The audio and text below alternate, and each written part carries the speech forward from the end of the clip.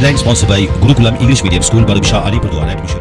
খোয়াই ত্রিপুরা জেলা তেলিয়ামুড়া প্রতিমা নিরঞ্জন দেখতে ত্রিপুরা বিধানসভার মুখ্য সচেতক কল্যাণী সাহারায় গত এক মাস ধরে শারদীয় দুর্গোৎসবের জন্য সেজে উঠেছিল গোটা ত্রিপুরা পিতৃগৃহ ছেড়ে উমা এবার ফিরে গিয়েছেন কৈলাসে তার স্বামী মহাদেবের কাছে মা দুর্গাকে ঘরের মেয়ে হিসেবে পূজা করা বাঙালির মন খারাপ খোয়াই ত্রিপুরা জেলা তেলিয়ামুড়া দশমী ঘাটে প্রতিমা নিরঞ্জন দেখতে গেলেন বিধানসভার মুখ্য সচেতক তথা বিধায়িকা কল্যাণী সাহারায় তিনি বলেন, মা দুর্গা দুর্গত না আসিনি মা দুর্গা ধনং দেহি, রূপং দেহি, যশো দেহি। সকল রাজ্যবাসীকে মা দুর্গা যেন ভালো রাখেন।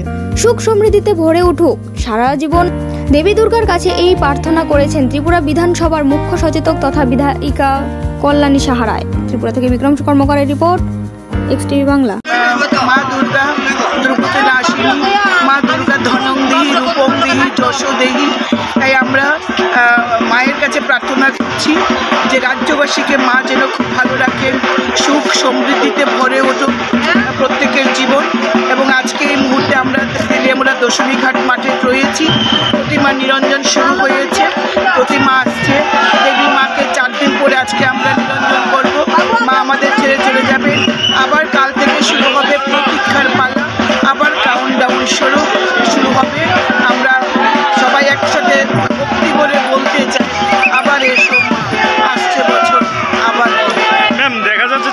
সাথে সুরে নিয়ে আপনাদের কি বক্তব্য?